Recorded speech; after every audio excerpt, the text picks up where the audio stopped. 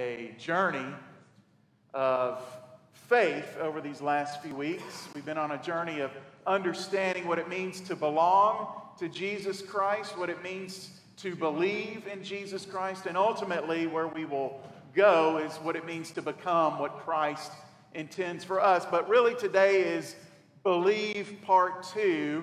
But I give the title of the message today, The Way Back Home, because it talks about what it means to be on a journey, to be somewhere where you don't really know what to do or where to go or how to deal with it, and understanding that God in Christ always helps us find our way home, our way to Him, and our way to a place of safety and comfort. You may not believe this, or maybe you would. Between the years of 2008 and 2011, I was a suit salesman. Maybe that's where I got the good shoes, Rick. I was a, an achievement test scorer. So that's a fun job, let me tell you. I was a house painter, actually painted an entire two story arts and crafts house over in East Nashville. I think it still has the paint on it. I'm not sure. Maybe not. May have washed off by now. I uh, was an adjunct faculty instructor at Bethel University. I was a session, church session moderator. You probably wonder what that is. It's not really a very fancy or fun job, but I had that job. And I did do a little preaching too. I did all of those things. In fact, most of the time during those years, I held no less than two, most of the time, three jobs. Some of the jobs didn't pay very much, some didn't pay at all, and, and, and some were paid in other ways. I drove a thousand miles per week. And I remember, I'll never forget this. One morning, I got out of my driveway, went to the end of my neighborhood, and I either go left to go one way or right to go the other way. And I had to call my wife and go, I don't know where I'm supposed to go. Where am I supposed to go today? What day is it? Do I go left or do I go right? Do I go to Springfield or do I go to McKenzie? And she goes, I don't know, but today's Tuesday. You got to figure out the rest. Remember that? So that was my life. You might be wondering, how on earth did you get to that point where that was your life? Well, it's a long story. I, I know I keep saying this. Really, you need to read the book to understand all the ins and outs of that because today's a message about uh, our scripture today. It's not about me personally, but but I will say this I arrived at that point after a very difficult season and what I would call a ministry failure in another state. And we had to get to the point where my wife and I sat down and we said, We've got to make some decisions. And one of the decisions we made together was we weren't going to move and we weren't going to do anything differently until we could get our children where we wanted them to be. We needed to provide them a stable home a stable school environment, and really we wanted to be able to give them everything that we could. And so I agreed. And basically, the conversation was she told me what I was going to do, and I had to just nod and go, Yes, ma'am, that's what I'll do. Which is why I ended up working those, those jobs and driving 1,000 miles a week. It's important to understand something. In ministry and in life, we deal with these kinds of situations uncertainty, difficulty, challenges. I, I wish I could tell you the life in Jesus Christ is going to be smooth sailing and it's going to be smooth pavement from here on out for you. I wish I could tell you that. I wish I could say, once you accept Jesus Christ as your Savior, once you make a, a, a move to believe in Him and to follow Him, that everything's going to work out just the way you dreamed it would and everything will be smooth. If I told you that, I would be lying to you because it won't. The life in Christ is difficult. The life in Christ is challenging. The life in Christ is filled with potholes and narrow roads and running off into the ditch and trying to get back. And it is most assuredly filled with storms. And I know this because when Jesus called his first disciples, he took them in a boat and they had a ministry. And one time in that boat, what happened to them? They were faced with a terrible storm. I remember one of my dear seminary professors giving this sermon at my ordination service. And he said, Roger, at the end of that service, he delineated all of the storms and the trouble and the, the, the things that could come up in following Jesus and being a pastor or just being a Christian. And at the end of that sermon, he said, Roger, you need to know intimately that Jesus is in that boat with you. I'll never forget what he said. In fact, I, he gave me a copy of the sermon, and I circled that, and I underlined it, and I kept it in a folder that was very important to me. That's the life of faith that we're called to believe. We're called to give ourselves to believe in Jesus Christ, and this is what we find ourselves in. We're going to read today the storm at sea, Mark 4 35 through 41. We've heard this before many times. In fact, we went through the Gospel of Mark verse by verse. But when we think about putting our faith in Jesus Christ and making it through the storms of life, these words are so important to hear again. Mark chapter 4, verse 35. That day, when evening came, he said to his disciples, Let us go over to the other side. Leaving the crowd behind, he took them along, just as he was in the boat. There were also other boats with him. A furious squall came up, and the waves broke over the boat so that it was nearly swamped. Jesus was in the stern, sleeping on a cushion. The disciples woke him and said to him, Teacher, don't you care if we drown? He got up, rebuked the wind, and said to the waves, Quiet, be still. Then the wind died down, and it was completely calm. He said to his disciples, Why are you so afraid? Do you still have no faith? They were terrified and asked each other, who is this? Even the wind and the waves obey him. This is the word of God for the people of God. Thanks be to God. Well, Jesus calls us, doesn't he? And he calls us to get up, to take a chance, and to cross on over to unknown places. When Jesus calls us, he calls us to stand up, to get up, to take a chance, and to cross on over to unknown places. When we meet Jesus and his disciples in the Gospel of Mark, we understand that his ministry had grown, that his ministry had become quite popular, that people would come and crowds would come and Thousands of people might come to him to hear him speak. So many people would come that he often utilized the boats of his disciples who were former fishermen to teach from. And on one of those occasions, Jesus says, Look, let's get in the boat and go to the other side of the lake and let's see what's over there. Unknown places, uncharted territory. This is the life of faith in Jesus Christ. Now, I understand life is all about taking risks. And I've been told I'm somewhat of a risk taker a little bit. I'm one of those that's willing to, to push the envelope just a little bit, to try different things. And maybe that goes back from my childhood. I, I used to kind of push and see how far I could go before I had to pull back a little bit. So I understand. But as I've gotten older, as I've gotten wiser, I understand that you have to process risk. You have to think about what you're doing. You have to be prepared, you have to be ready. But I know that risk is part of ministry. A couple of weeks ago, we talked about Jesus sending his disciples. And do you remember how he told them to go? He told them to go with a full pack full of gear and you know extra shoes and clothes and money and all the resources they need. What did he tell them to go with? Nothing. Just take what you got on you. And he did this, you see, because he knew, and, and, and, Jesus, of course, knew that they would encounter homes that wouldn't be welcoming to them, that they would encounter people that might be hostile to them.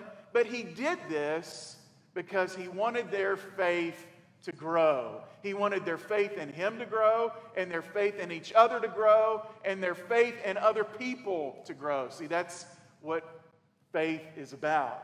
Remember, Pisteuo, the Greek word means to give yourself over, to give yourself unto Jesus Christ.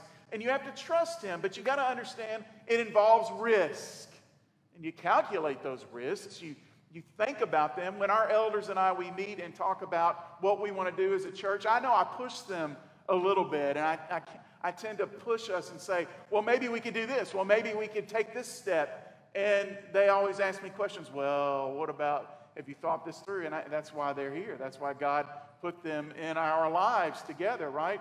But we have to be ready to take a chance.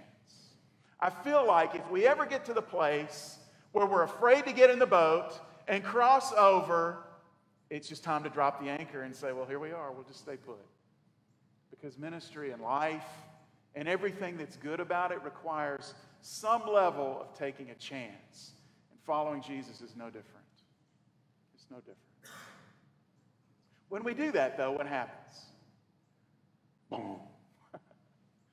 Storms come. I mean, it was a risk to have church here about a month ago, right? We sent everybody home, but we said, we'll do it. We can make it work. I know that there's only a foot of water in the parking lot. I mean, Bill's calling me on the phone saying, I don't know what to tell you. You probably ought to get out of there. I'm like, yeah, we got everybody out. But he was saying, no, you need. And I wish next time just say, no, Roger, you need to get out of there. He just said, maybe y'all, but I, you know, I took that to mean everybody else. You know, never would I have thought that within 10 minutes, Leah starts singing her song, and within you know, as soon as she starts singing, the water comes in, and within 10 minutes, we're on the stage, and there's two feet of water, 18 inches of water in here, 20 inches. Storms come. Storms come in life. Now, the Sea of Galilee, where the, or the lake of Gennesaret, however you want to look at it in the, in the gospel, it's the same body of water. It's a freshwater body in central Palestine, Israel, right? And it's a unique body of water, and it's very prone to storms. You see, it's about 600 feet below sea level, and, and it's warmed. It's a very warm body of water. Geothermal energy comes from underneath, and it warms that lake. It's a very warm body of water. And it's situated in that basin surrounded by mountains, specifically to the east, high ridges and high cliffs and high mountains. And of course, you know, to the west is what? The Mediterranean Sea, which is kind of like our Pacific Ocean, Pacific coastline. It's a very cool body of water. And so, what would happen so many times is that cool, moist water would come off the Mediterranean Sea. It would kind of land over that warm body of water on the Sea of Galilee, and then maybe some desert dry wind would push through, and you would have violent, very violent very unpredictable storms. It happened then and it happens today. I've talked to many people. I, one of my dreams is to go to the Sea of Galilee, but I've talked to many, many people that say you're there, it's calm, and then bam, it's a major storm. And it's such a small body of water that the waves are, are fierce, fierce waves. Storms come in life. They came to the disciples and they were swamping the boat. And, and sometimes we can't avoid that. All we can do is react, all we can do is do our best. And so many times we see the true character of people, and maybe it's the true character of ourselves when those storms hit. What are the disciples doing as the boat is taking on the water? They're bailing the water out, they're fighting it the best they can. And what do they do? Jesus! You know, Jesus is asleep. That's how he rode out the storm. I'm just taking, I mean, he, storm's coming. I'm going to get under here, ride it out. I'm tired. I've, I've, t- I've taught all day. I've been preaching. I've been performing miracles. I need my rest. And they're fighting for their lives. You don't care that we're going to drown? You see, it proves our character a little bit when we face those storms that are most assuredly going to come. They don't just come on the Sea of Galilee from time to time, violently and furiously. They come upon our homes from time to time. They come upon us at the workplace from time to time. They come upon us between the ones we love the most, suddenly and violently from time to time. They come in our thoughts and in our minds from time to time. We, we see things and it, it hits us.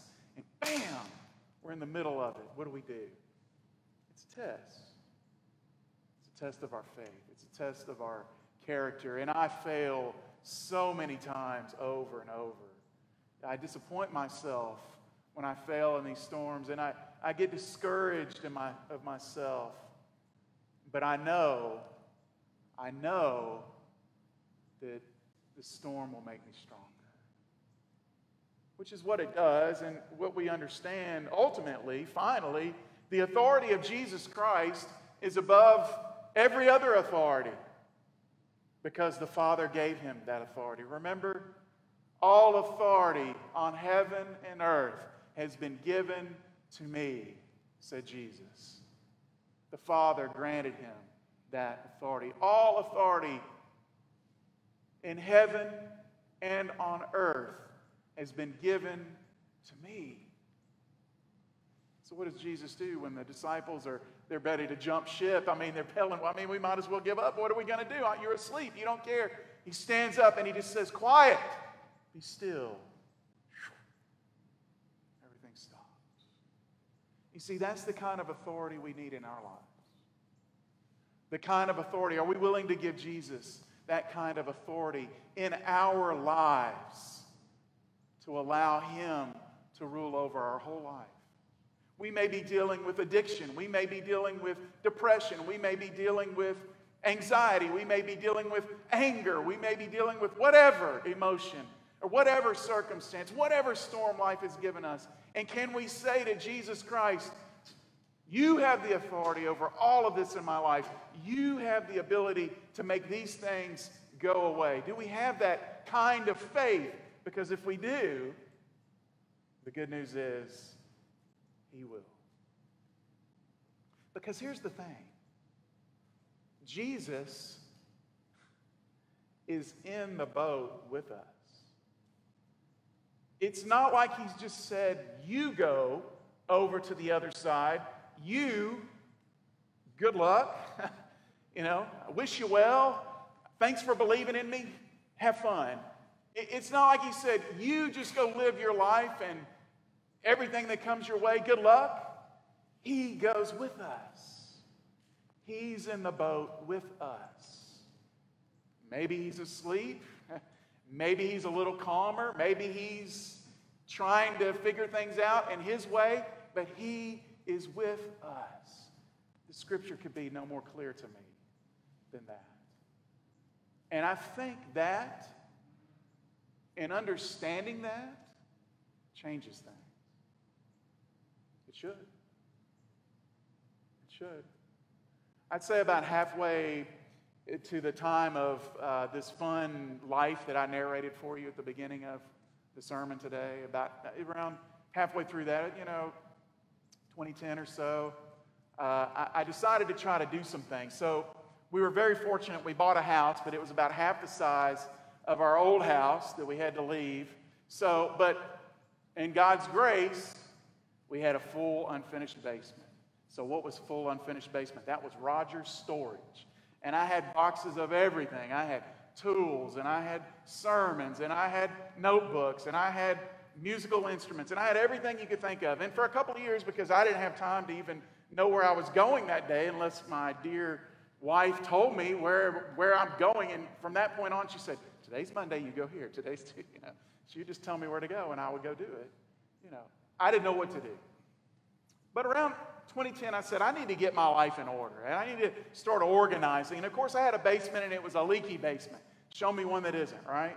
So I had moved little areas. I had little paths where the, the leaks would, and when it would rain real bad, I'd clean it up and keep things dry and all those good things. Had a nice dehumidifier that I would drain out. It was really great for watering trees. For some reason, it made a tree become humongous. I had the dehumidifier water. It's probably some mineral in it that would kill us, but who knows? You know, it made the tree grow. But you know, I was starting to get things together. I was feeling good about myself. Ah, I got it together. I'm getting it going. I got some outside projects, some inside projects, gonna get it organized. And then what happens in May 2010? May 1st, we got seven inches of rain. May 2nd, we got another seven or eight inches of rain. And you know what's happening to my storage area, right? It's just filling up. You know, thankfully, we were spared. Our home was not flooded. Nothing like what we experienced a month ago.